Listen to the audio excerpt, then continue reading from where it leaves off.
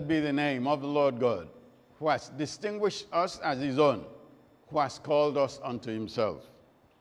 Today we are going to make a walkthrough of just three verses of the scripture Isaiah 61 from verse 2 to verse 5. We are going to walk through it, just sentence by sentence, line by line, somehow, but we are going to walk through it. We are not taking the whole of Isaiah 61. It's some wonderful combination of the words of God of encouragement. Today, God is coming to, to distinguish you. Isaiah 61 from verse 2 to proclaim the acceptable year of the Lord and the day of vengeance of our God, to comfort all who mourn. The acceptable year of the Lord. I want to tell somebody today this year of your life. We are not talking about a new year, but it's a new year of sorts. Because the new year, for you, your own year is different from my own year. Never mind the general calendar, we're not born at the same moment. Even if we were born the same moment, we have individual directions of life. So your year is not my year. But whatever year it is, I am talking about the year of the Lord. I am proclaiming the year of the Lord for you. That is my duty today. And this day, today, is the day of God's vengeance for you.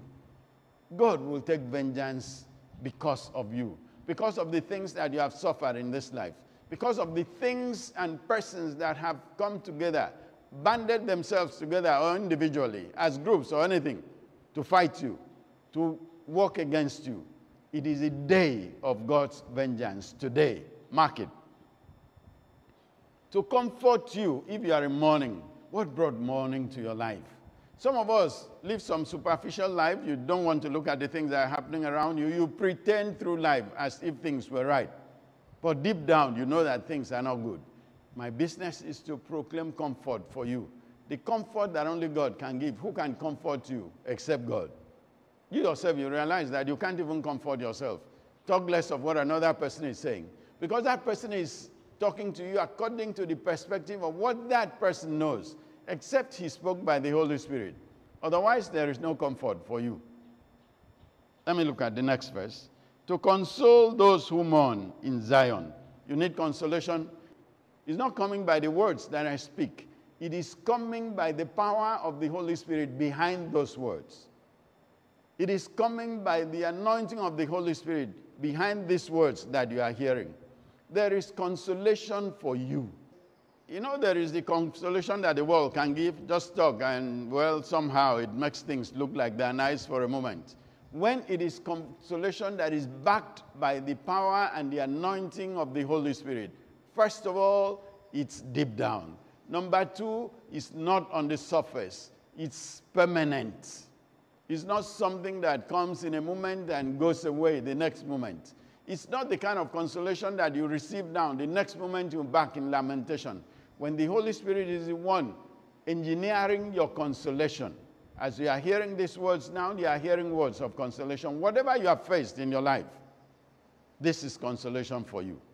This is time for you that God is going to give you satisfaction and give you peace and give you an overcoming power that that thing no longer has a negative effect on you no matter what is happening to give them beauty for ashes. You know, ashes, when you are in the worst state of life, people pour ashes on their heads. It's a Middle Eastern tradition, the Jewish tradition. They do it. But when God says ashes will not be on your head, you know what it means? It because He has removed the reason for which you had to pour ashes on you. What am I saying? The thing that brought you down, the thing that brought you from your throne of life onto disgrace. God has removed the reason for that disgrace. So I'm declaring to you today that what brought disgrace to your life, what brought shame to you, what brought sorrow to your life, God has removed the cause of it and removed it from you. And therefore, He puts a crown of joy upon you. That crown of glory has come upon you. And because of that crown today, wake up and celebrate. The oil of joy for mourning. Are you mourning? Are you lamenting? Are you crying? Some of us, our loved ones are dead. So many things have gone wrong. Your business has collapsed. Something is happening that shouldn't happen, and it is so severe. Some very distressful thing, beyond distress. Anyhow, you can describe that thing that has happened to you, and you are left in mourning. Somebody is greeting you. Sometimes somebody calls your name. You don't even know that it's you who is being called because of the severity of what you are facing. But whatever it is that you are facing, however it is that it is happening, today the oil of God is coming upon your head, and it's coming upon your head right now. If you are listening to me, just close your eye for a moment, for the oil of joy is pouring upon you. And this oil removes every form of mourning from your life, and gladness has taken over. In Jesus' name, amen. The garment of praise for the spirit of heaviness. Heaviness. You know, well, I don't need to explain heaviness. If you have experienced it, except you have never experienced it, when things are just upside down, topsy turvy, you are no longer there, you don't even know where to go. You are, in fact, it makes you lethargic. You can't move again. Nothing works. Everything you try has failed, and you are beyond yourself. But you know what? I am bringing to you a garment of praise. Because when you are heavy, even if there is a song, you can't sing. The song sings in your heart. Physically, you can't sing. But today, praise has come upon you. A difference has come upon your life. That they may be called the trees of righteousness, the planting of the Lord, that he may be glorified. All of these things are happening with you today and will continue to happen in your life that God may be glorified. Yes, you are the one that is enjoying it, but God is glorified because you are a planting of the Lord.